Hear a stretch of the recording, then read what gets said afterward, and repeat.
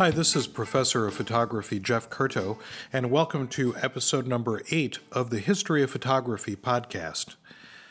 Our topic for this episode is the photographer Sergei Mikhailovich Prokudin-Gorsky, Sergei Mikhailovich Prokudin-Gorsky, a mouthful. Uh, I'll stick with Prokudin-Gorsky for the remainder of the podcast. Prokudin-Gorsky was born in 1863 and died in 1954. And the photographs that Prokudin-Gorsky made offer a vivid portrait of a very completely lost world. The Russian Empire, the Russian Empire on the eve of World War I and the coming Russian Revolution. In this slide, we see Prokudin-Gorsky in a portrait. Uh, that's a detail of him coming on screen here. Uh, you'll notice that this image is in color, and it's the fact that Prokudin-Gorsky's images are in color that give them a big part of their appeal, as they were made before color photography was widely practiced or known, uh, because Prokudin-Gorsky was a pioneer of color photography. He grew up in a small Russian town and in the late 1880s went off to St. Petersburg, where he enrolled in St. Petersburg State Institute of Technology. There he studied chemistry under Dmitry Mendeleev. He also studied music and painting at the Imperial Academy of Arts. It's not certain whether it was this study that formed his interest in photography and in photochemistry, but in 1902 he went to Berlin to work with Professor Adolf Miethe, a chemist and an early expert in the tricolor photo process. The tricolor photo process, the concept of this had been explored before, most notably by the English physicist James Clerk Maxwell, but it's with Prokudin-Gorsky that we see an applied approach to the technique. The idea is that during this time period that Prokudin-Gorsky was making these photographs, uh, the late 19th and early 20th century, uh, there was only black and white photography available. Uh, black and white emulsion was the only type available at the time. So a single image yielded a single black and white photograph. But if three images were made instead of one, with each one being made through a filter, three separate images, one through red, one through green, and one through blue, what you got was color separations. And those color separations, one image made through red, one image made through green, and one image made through blue, filtered out the way color was recorded by the black and white emulsions, three separate images those three separate images could then be combined uh, to make a single color photograph. Uh, and here we have uh, the Emir of Bukhara, a rather fierce looking uh, fellow. Of course, once the image was made, it was impossible to make any sort of a print of those pictures, so Prokudin-Gorsky employed a three lensed projector with each lens fitted with a red, a green, and a blue filter, and then each of these color separations was projected through its correspondingly filtered lens, and therefore the full color image would appear in projection on a projection screen. Uh, one of the things that's interesting is what you see here on screen on the right hand side of uh, the, the slide is the image as it would be uh, from Prokudin-Gorsky's time uh, with the uh, three images superimposed by hand. Contemporary digital technology has allowed these images to be more accurately uh, uh, sort of superimposed on top of one another, and so we can see a much more accurate rendition of color. Uh, and uh, so here we are looking at uh, this color image.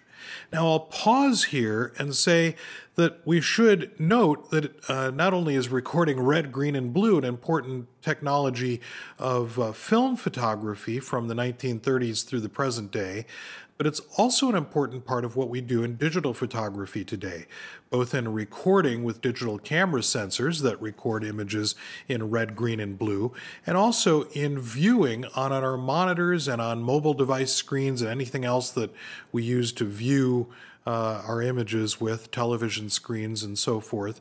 Uh, and of course, also just, you know, re sort of going back here to the idea that color film technology uses red, green, and blue to record. So, uh, Prokudin-Gorsky was uh, ahead of his time uh, with other pioneers of color photography. Uh, so, uh, I've got a couple other examples here of the way these three color separations worked out into uh, final images. Uh, and here we have one of the more uh, recent digitally enhanced images.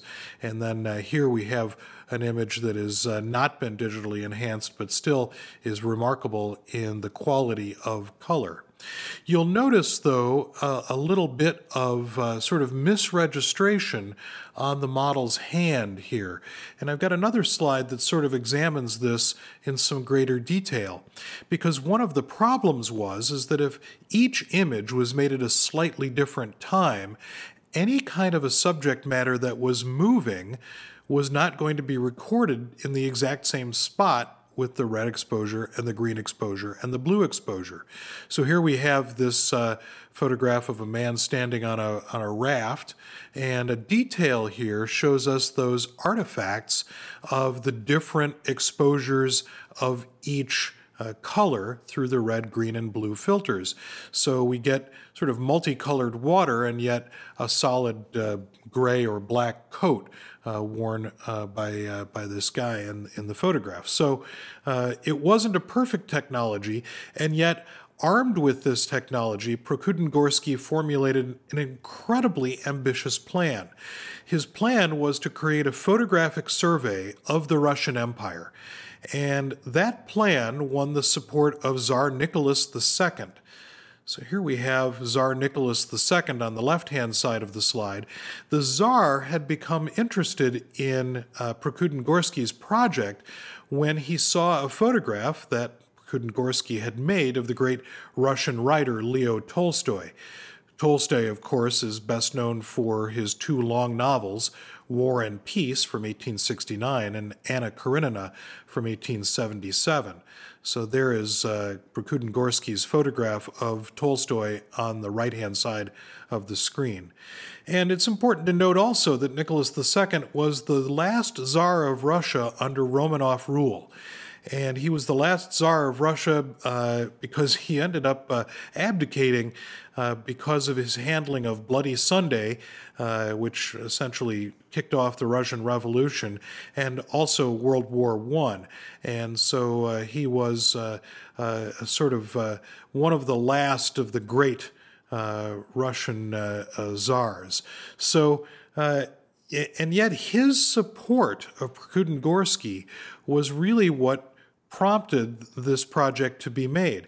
And what Prokudin-Gorsky wanted to do was he wanted to use color photography to document the Russian Empire in a very systematic way he had this ambitious product whose ultimate goal, or its ultimate goal, was to educate the school children of Russia. That was his uh, notion, and partially how he sold the project uh, to Nicholas II, uh, to educate the school children of Russia with his optical color projections, projecting these images to groups of school children of the vast and diverse history and culture, and very importantly, the modernization of the empire.